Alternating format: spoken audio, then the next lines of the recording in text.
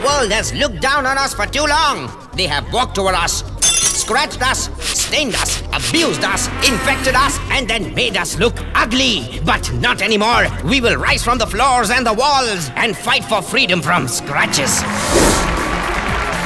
We want freedom from stains. We want freedom from germs. We want freedom from boring designs.